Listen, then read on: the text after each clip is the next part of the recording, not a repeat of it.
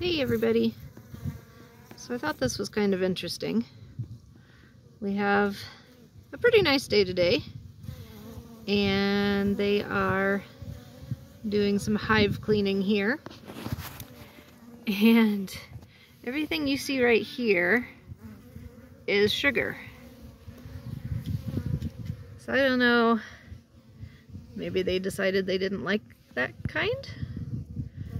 I don't know. You can also see they've been doing their cleansing flights, all that brown stuff. they've been getting out and about. But they apparently decided they don't like that sugar and they're dragging it out.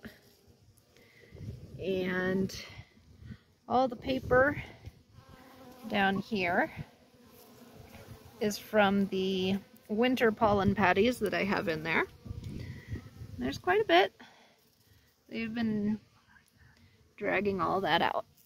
Oh, I got some here. But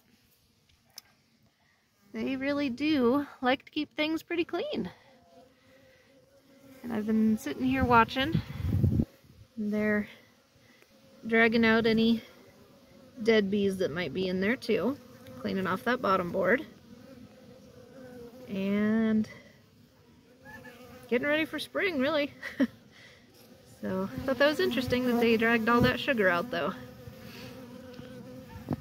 So, that is it for today, and see you next time.